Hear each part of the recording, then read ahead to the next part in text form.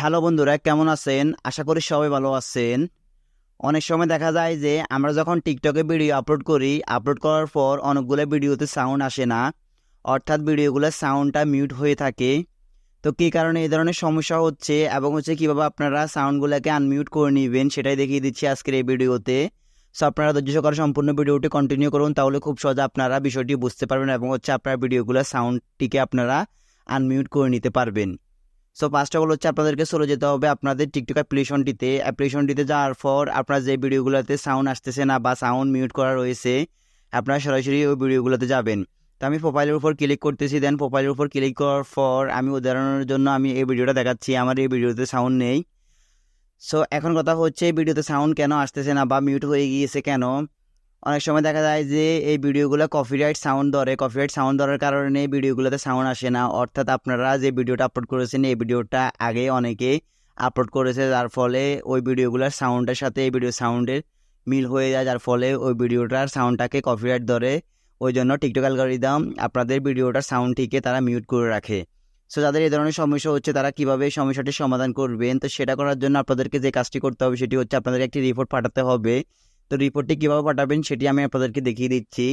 আবার অনেক সময় দেখা যায় যে কপিরাইট ইস্যুর কারণে না, আপনারা যখন ভিডিওটা আপলোড করেন আপলোড করার সময় যখন এডিট করেন এডিট করার সময় আপনাদের ভুলবশত হাতের চাপ লাগিয়ে ভিডিওটা সাউন্ডটা মিউট হয়ে যায়, যার ফলে আপনারা ভিডিওটা আপলোড করার পর ভিডিওতে সাউন্ড আসে না। যাদের হচ্ছে ওই ধরনের কোনো সমস্যা নেই কিংবা আপনাদের, যাদের হচ্ছে কপিরাইট ইস্যুর কারণে সমস্যা হচ্ছে, তারা যেভাবে রিপোর্টটি পাঠাবেন, তো রিপোর্ট পাঠানোর জন্য আপনারা এখান থেকে একবার ব্যাগে চলে আসবেন। চলে আসার পর আপনারা এখানে প্রোফাইলের উপর ক্লিক করে দেন হচ্ছে উপরের কর্নারে থ্রি ডট লাইন্সের উপর জাস্ট ক্লিক করবেন। দেন ক্লিক করার পর উপরে আপনারা দেখতে পারবেন সেটিংসের একটি আইকন তো আপনারা এই আইকনটির উপর জাস্ট ক্লিক করবেন। অ্যান্ড দেন হচ্ছে ক্লিক করার পর এখান থেকে আপনারা একটু স্লাইড করে নিচে আসবেন। নিচে আসার পর দেখতে পারবেন এখানে রিপোর্টে প্রবলেম নামে একটি অপশন তো আপনারা এই অপশনটির উপর জাস্ট ক্লিক করবেন। দেন ক্লিক করার পর একটু লোডিং নিবে। লোডিং নেওয়ার পর দেখতে পারবেন এখানে অসংখ্য অপশন চলে এসেছে। সো এখান থেকে হচ্ছে আপনাদেরকে যে কাজটি করতে হবে সেটি হচ্ছে আপনারা দেখতে পারতেছেন ফিড অ্যান্ড প্লেব্যাক নামে একটি অপশন তো আপনারা এই অপশনটির উপর জাস্ট ক্লিক করবেন। ক্লিক করার পর এখানে নতুন করে দুইটি অপশন চলে আসবে। সো আপনারা দেখতে পারতেছেন প্লেয়িং ভিডিওস নামে একটি অপশন তো আপনারা জাস্ট এই অপশনটির উপর ক্লিক করবেন। দেন হচ্ছে ক্লিক করার পর একটু লোডিং নিবে। লোডিং নেওয়ার পর এখানে আপনারা অনেকগুলো অপশন দেখতে পারতেছেন। একটি হচ্ছে ভিডিও নট প্লেয়িং তার নিচে দেখতে পারতেছেন অডিও নট প্লেয়িং নামে একটি অপশন তো আপনারা এখান থেকে হচ্ছে ক্লিক করবেন অডিও নট প্লেয়িং এই অপশনটির উপর জাস্ট ক্লিক করবেন। দেন হচ্ছে ক্লিক করার পর, একটু লোডিং নিবে লোডিং নেওয়ার পর এখানে কয়েকটা টার্মস অ্যান্ড কন্ডিশন বলে দেওয়া হবে। সো আপনাদেরকে এখানে নিচে থেকে এই অপশনটিকে নো করে দিতে হবে। দেন হচ্ছে নো করে দেওয়ার পর এখানে থ্যাঙ্কস ফর ফিডব্যাক একটি অপশন চলে আসবে।